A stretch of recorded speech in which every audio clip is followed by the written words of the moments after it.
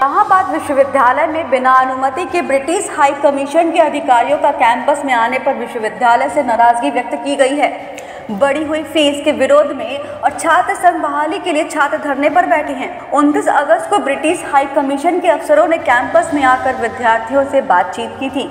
इलाहाबाद विश्वविद्यालय प्रशासन ने जिला प्रशासन से शिकायत भी की है।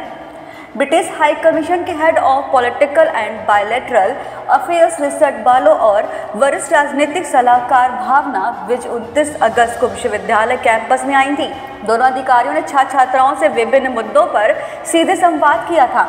भारतीय छात्रों के लिए ब्रिटिश सरकार की ओर से दी जा रही सुविधाओं और सहूलियतों के लिए प्रेरित किया गया था। कैंपस में आने और छात्र छात्राओं से बातचीत करने की जानकारी इलाहाबाद विश्वविद्यालय प्रशासन को नहीं दी गई थी। ब्रिटिश हाई कमीशन के अफसरों के साथ इलाहाबाद विश्वविद्यालय की पूर्व छात्र संघ अध्यक्ष डॉक्टर रिचा सिंह भी मौजूद थी। अफसरों ने फ़ीस वृद्धि के विरोध में कैंपस में प्रदर्शन कर रहे छात्र छात्राओं व छात्र संघ बहाली के लिए आमरण अनशन कर बैठे छात्र नेताओं से बातचीत की थी। उनसे आंदोलन के कारणों के बारे में जानकारी भी ली थी। इलाहाबाद विश्वविद्यालय के जनसंपर्क अधिकारी डॉक्टर जया कपूर ने बुधवार को एक प्रेस विज्ञप्ति जारी की है। ब्रिटिश उच्च योग के दो अधिकारी विश्वविद्यालय आए थे। छात्र नेताओं और विभिन्न विभागों में छात्र से संपर्क किया। छात्र संघ के मुद्दे सहित कुछ अन्य विवादित विषयों पर छात्रों में भड़काने वाली बातें करी।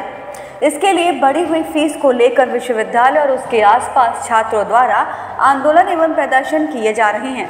इन उच्च योग अधिकारियों में न ही विश्वविद्यालय के किसी अधिकारी से संपर्क किया, न ही परिसर में आने की सूचना दी और अनुमति मांगी।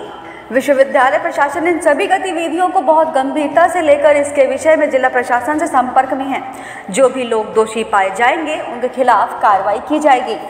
Bureau report, IPL.